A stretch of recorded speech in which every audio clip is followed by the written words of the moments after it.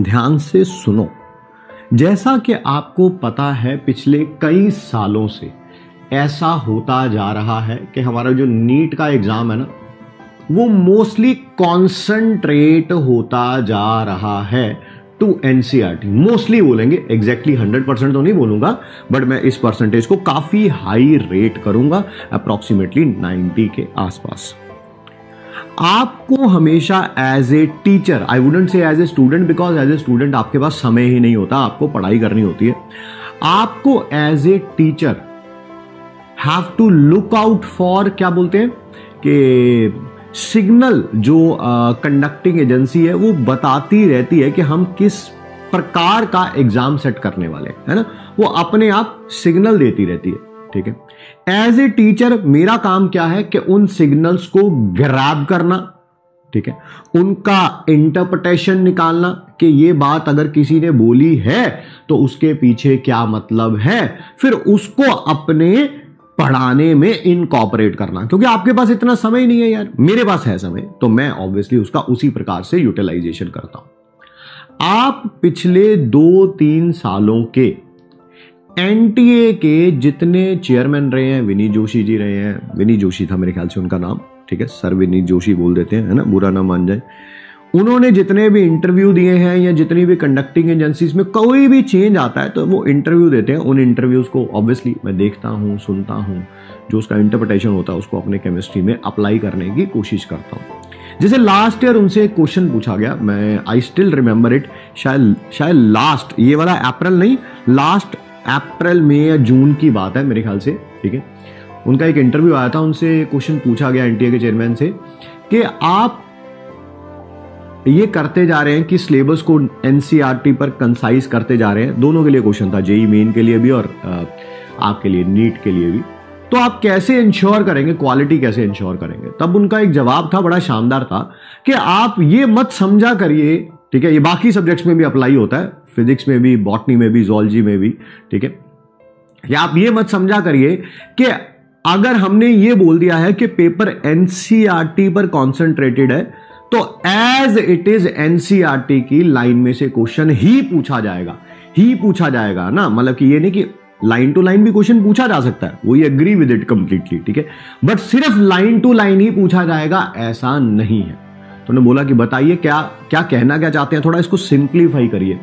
Then he told कि यार जैसे मान लीजिए कोई एक चैप्टर है, एक चैप्टर है, और कोई दूसरा चैप्टर है, ठीक है? आपने इस चैप्टर से एक कॉन्सेप्ट पकड़ा, दूसरे चैप्टर से दूसरा कॉन्सेप्ट पकड़ा, दोनों को कंबाइन कर दिया। अब इस बच्चे ने जो एनसीआरटी से ये कॉन्सेप्ट पकड़ा होगा, उस पर क्वेश्चन ज़रूर किए होंगे। जब इस चैप्टर से ये कॉन्सेप्ट पढ़ा होगा, इस पर क्वेश्चन ज़रूर किए होंगे। बट हम जब ने दोनों को क्या कर दिया कंबाइन कर दिया, क्या वो क्वेश्चन कर पाता है या नहीं कर पाता है? इसी से पेपर का लेवल भी राइज हो जाएगा एज वेल एज जो है मतलब कि as line to line NCERT वाली लाइन भी थोड़ी सी खत्म हो जाएगी। लाइन टू लाइन से भी पूछा जाएगा बट सिर्फ़ लाइन टू लाइन से ही पूछा जाएगा, ऐसा नहीं होगा। ठीक है। हाँ ये तो बात मुझे पता ही नहीं थी।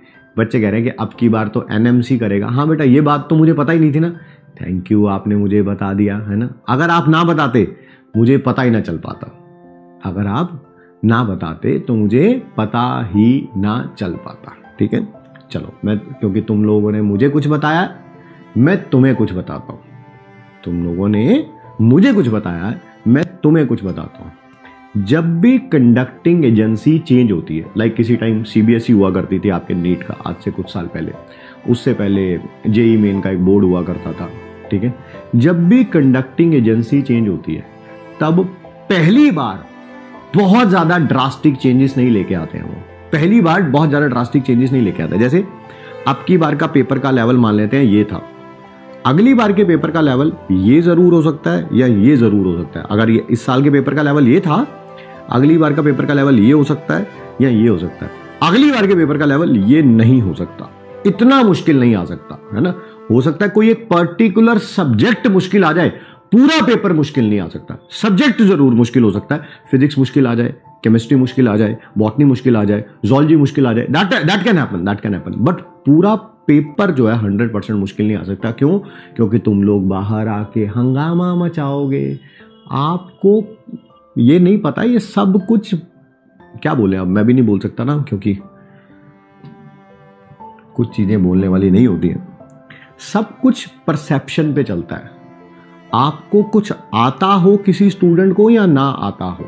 बट अगर उसने बाहर आके ये बोल दिया, बाहर आके ये बोल दिया कि एग्ज़ाम टफ था, वो, और फिर वो रिपल इफ़ेक्ट की तरह होता है। एक जना बोलता है एग्ज़ाम टफ था, सारे जने बोलते हैं एग्ज़ाम टफ था एग्ज़ाम टफ था एग्ज़ाम टफ था एग्ज़ाम आता हो या ना आता हो? ठीक है? वो बाहर आके रिपल इफ़ेक्ट की तरह काम करता है, उस कंडक्टिंग एजेंसी को जवाब देना मुश्किल हो जाता है। समझ आई? क्योंकि वो बात सरकार तक पहुंचेगी। सरकार उनसे पूछेगी, यार, क्या किया तुमने यार? हर कोई बच्चा बाहर आके यही बोल रहा है, यार एग्ज़ाम टफ था एग्ज़ाम टफ था. तो उसको जवाब देना मुश्किल हो जाता है। जो उसको इंप्लीमेंट करना है, वो धीरे धीरे धीरे इंप्लीमेंट करेगा। ठीक है?